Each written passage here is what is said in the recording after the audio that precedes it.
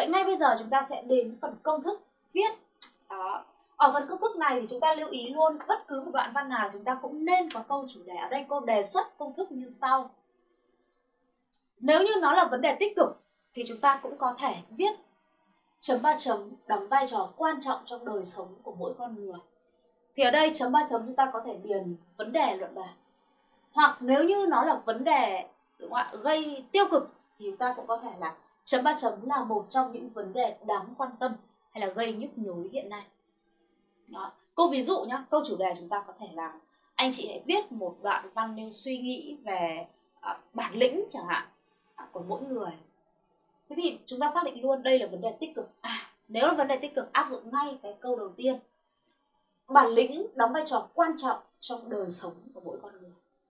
Hoặc là những vấn đề về gì ạ? À, tiêu cực về trong đây tiêu cực ví dụ như là hiện tượng ừ, vô cảm chẳng hạn trong xã hội hiện nay. Vô cảm là một trong những vấn đề đáng quan tâm, gây nhức nhối hiện nay. Ví dụ như thế. Tiếp đến, chúng ta sang phần giải thích. Và ở phần giải thích này thì chúng ta có thể đặt ra một, những, một loạt những câu hỏi. Vậy, cái hiện tượng đó là gì? Đó nào tầm quan trọng hay là sự ảnh hưởng? Nếu như nó là vấn đề tích cực thì là tầm quan trọng. Nếu như nó là vấn đề tiêu cực thì là sự ảnh hưởng và tác động của nó đến đời sống của chúng ta ra sao? Và làm thế nào để chúng ta có thể phát huy nếu là hiện tượng tích cực hoặc là hạn chế nếu như là hiện tượng tiêu cực? Nào. sau đó chúng ta bàn luận về vấn đề. Chúng ta có một cái câu là à, bàn về cái vấn đề này thì có không ít ý kiến quan điểm cũng như cách nhìn khác nhau. Nhưng theo cá nhân của em đúng không của tôi thì cái vấn đề đó được hiểu là như thế này. Thì khi mà có cái câu này vào thì rõ ràng là à người chấm. Người ta thấy rằng là à bạn học sinh đã có sự nghiên cứu tìm tòi khá là sâu để đưa ra cái quan điểm riêng của mình. Và tiếp đó là muốn đưa ra cái khái niệm luận bàn như lúc nãy cô đã muốn nói chúng ta ấy, muốn tìm ra khái niệm của vấn đề thì ít nhất chúng ta phải mẹo chúng ta là chúng ta tìm các từ, các cụm từ cùng nghĩa, gần nghĩa với từ cần giải thích để nêu khái niệm hoặc là trái nghĩa cũng được. Ví dụ bây giờ cô muốn giải thích từ hòa bình chẳng hạn. Vậy thì bây giờ chúng ta tìm một loạt những cái từ cùng nghĩa gần nghĩa hoặc trái nghĩa với nó. Ví dụ như là hòa bình chúng ta thấy rằng có gì ạ?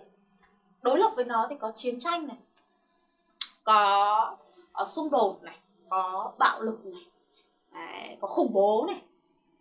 Cùng nghĩa với nó thì cũng có thể là tự do độc lập này vân vân. Như vậy từ đây chúng ta đưa ra được khái niệm về hòa bình là không có chiến tranh không có bạo lực không có khủng bố mà đó con người được sống tự do, độc lập, vân vân. Thế chúng ta thấy rằng là muốn định nghĩa được một từ, Đấy. cái vấn đề luận bàn thì chúng ta rất dễ dàng có thể tìm ra những từ đồng nghĩa, trái nghĩa hoặc gần nghĩa với từ đó nhé một mẹo chúng ta như vậy. Tiếp đến là chúng ta sang phần phân tích chứng minh. Và ở phần phân tích chứng minh này, chúng ta lưu ý cho cô ờ, mình phân tích những cái mặt, những cái biểu hiện và vai trò nếu như là tư tưởng đạo lý. Và chúng ta phân tích yếu tố về thực trạng hậu quả, nguyên nhân giải pháp. Nếu như hiện tượng đời sống thì cái điều này cũng đã làm rất rõ chúng ta trong cái giản lý vừa rồi. Sau đó chúng ta lấy các ví dụ điển hình. Và câu tiếp đó là phần bình luận. Chúng ta đánh giá mặt đúng, mặt sai, mặt trái, mặt phải nên hay không nên làm của vấn đề nghị luận. Và tiếp tục là chúng ta cũng có thể phản đề để mở rộng.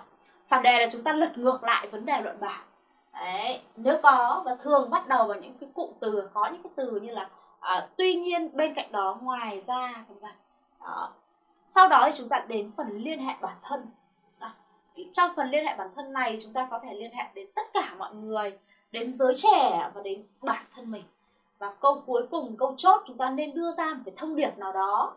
Và thông điệp thì thường mang tính chất là khuyên bảo mọi người truyền một cái thông điệp nào đó cho tới người đọc thường chứa các từ như đừng, hãy nên, cần, phải.